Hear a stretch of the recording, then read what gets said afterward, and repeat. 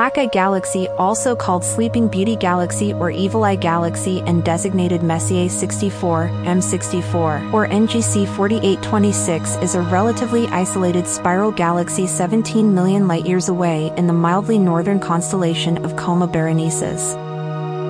It was discovered by Edward Pigott in March 1779 and independently by Johann Elert Bode in April of the same year, as well as by Charles Messier the next year.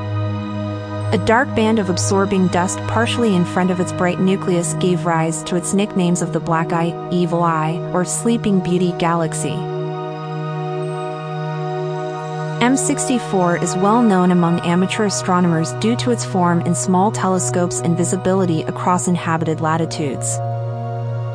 At first glance, M64 appears to be a fairly normal pinwheel-shaped spiral galaxy.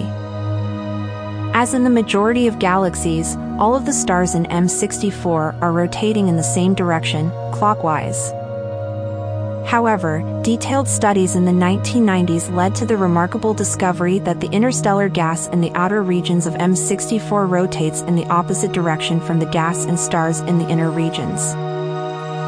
The active formation of new stars occurs in the shear region where the oppositely rotating gases collide, are compressed, and contract.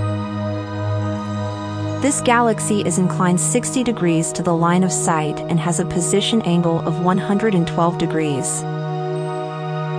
At the distance of this galaxy, it has a linear scale of 65 light-years per arcsecond. M64 is a Type II Seyfert galaxy with an H2-liner nucleus. The central region is a weak source of radio emission. A soft X-ray source has been detected at the nucleus, which is most likely coming from the circumnuclear region rather than directly from an active galactic nucleus.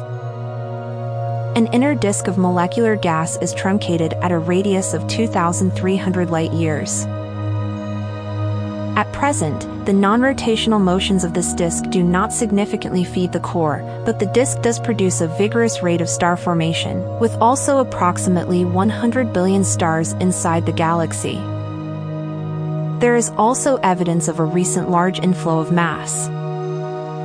The interstellar medium of Messier 64 consists of two counter-rotating disks that are approximately equal in mass. The inner disk contains the prominent dust lanes of the galaxy.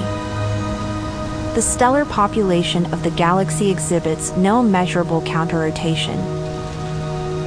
Astronomers believe that the oppositely rotating gas arose when M64 absorbed a satellite galaxy that collided with it, perhaps more than 1 billion years ago.